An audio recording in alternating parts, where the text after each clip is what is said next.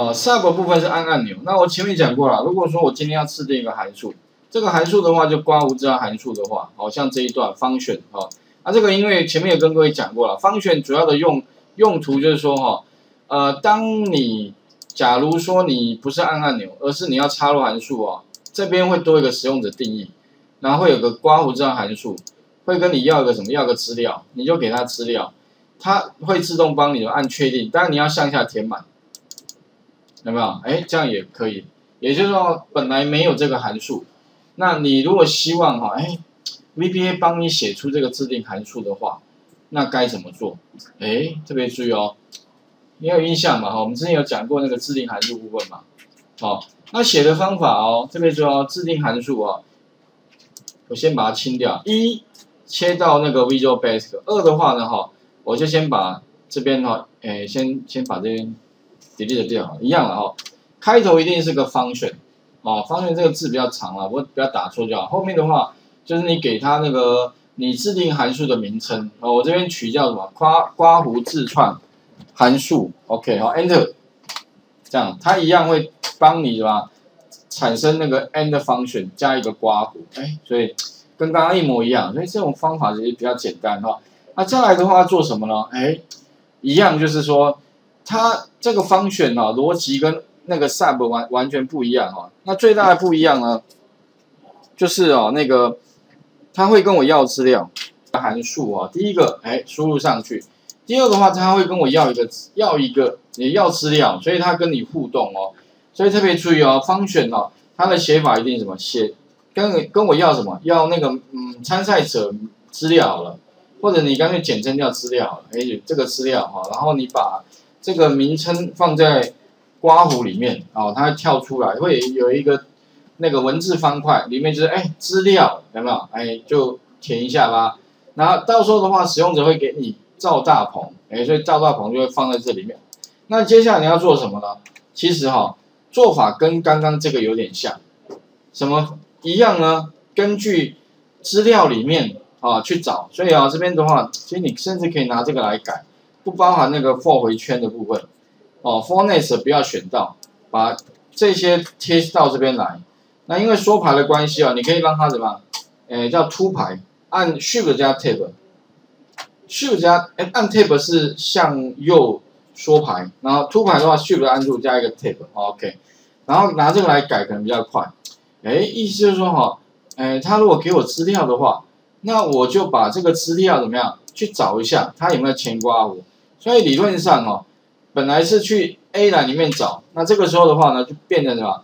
去资料里面找，好有没有？找前刮弧，找后刮，有有的话放 A，放在 B，哎。那同样的，如果呢 a 不等于零，意思说里面有前刮弧的话，做什么？哎，一样，把这个切割到的结果怎么样？帮我丢到哪里？哎，它是原来丢到 B 栏，对不对？可是特别注意哦，方旋的话呢，记得哈，请你怎么样，把它丢给谁呢？丢给这个方选本身。那因为你游标放在那个这个某一个储存格上方，它又会把。最后的结果丢到那个储存格里面去哦，所以特别就要，前面记得是放什么？放这个一样的方选名称。那里面只要看到什么 sales A，其实就放什么？放资料这两个字。OK，哎，这样的话呢，程式就基本上第一阶段就写完了。哎，有没有？那其实你会发现啊，它跟 sub 好像，因为主要是应用的那个哈不太一样。sub 是我都不会问。反正我就自己去抓资料，自己去丢资料，但是方旋是跟你互动的。OK，这个地方可能会比较不太一样的地方。好，那我们做完之后来试一下哦。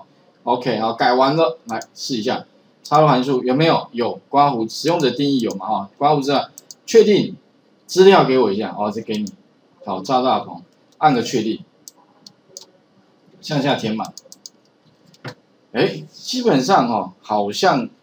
哎，有哎，但是问题有个地方会有问题，哪个地方呢？零，为什么是零？哦，这里的话呢，其实最大的问题哦，应该是在啊哪个地方呢？其实主要哈，你会发现为什么等于零呢？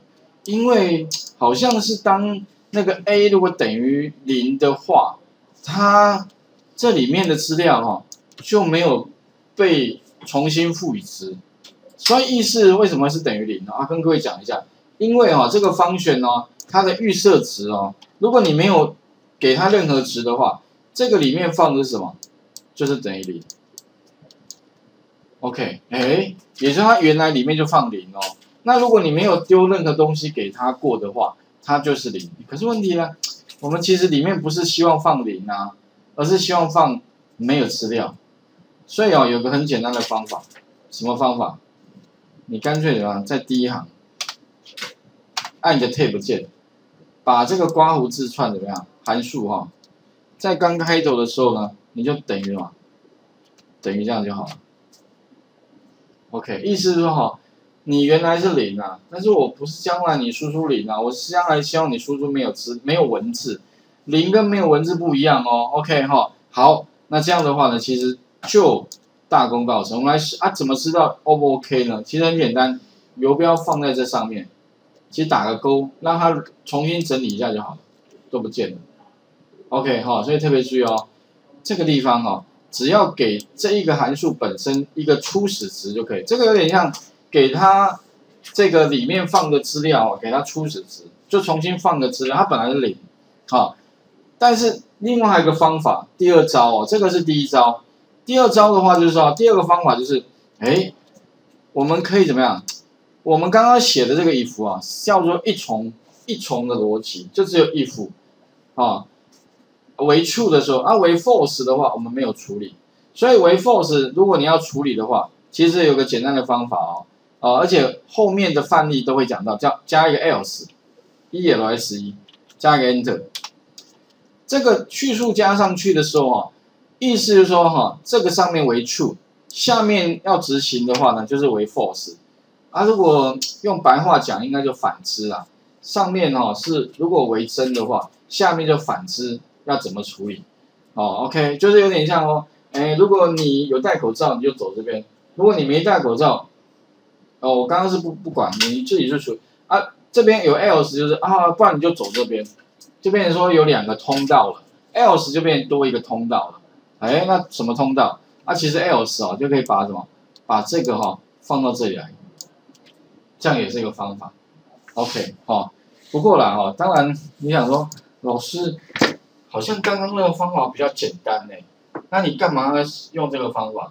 啊，其实主要是我想要讲 else 啊，OK，因为呃理论上程式当然哦，有的时候你不能说只是强调说它好像越简短越好，是有时候是没错了，但有时候你要只要想一想那个结构性的问题，就是系统能不能哦是一个 balance 的状态，哦，所以我特别还第二个方法。哦啊，至于哪一种方法啊，我觉得你就是有时候自己写的顺，不要出错，都是好方法了。OK 哦，因为因为你会发现了，同样的东西，从不同的人写出来的程式完全不一样哦，那是很正常的。也就是说了哦，基本上程式是不会有标准答案的嘛。哦，如果你是写越复杂的东西，越不可能有标准答案，因为每个人想的都不一样。我要从这边走绕绕这边，你想喜欢从那边走到那一边。那哪边对呢？能够达到目的地就对啊。OK 哈，所以这边请各位试一下哦，方旋部分。那我一样有把它放在那个呃云端白板上面的第五页哈。啊，只是说我这边是用了那个方法二了。好，我加一个 else。OK，那请各位试一下，那画面先再还给各位一下哦。也就是如果我今天要制定函数的话，流程大概是这样子。好，啊我。刚刚啊，之前跟各位讲过哦，制定函数部分哦，因为用的好像似乎会少那么一点点，所以啊，后面有些地方哦，如果没有特殊原因哦，可能我大概制定函数不会特别讲。好啊，如果你们有需有需要了哈，你可以来再来问我们，或者你自己再改写一下，好也没有问题。OK，那请各位再试试看。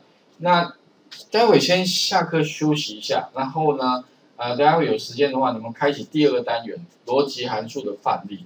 那我们逻辑函数呢，主要就是哈，教各位在 Excel 里面怎么去使用逻辑函数，在 VBA 里面呢，如何使用逻辑函数，也就是哈这一题的延伸。OK，那请各位先试着做做看哦。啊，待会的话呢，我们再来看第二个单元逻辑函数部分哦。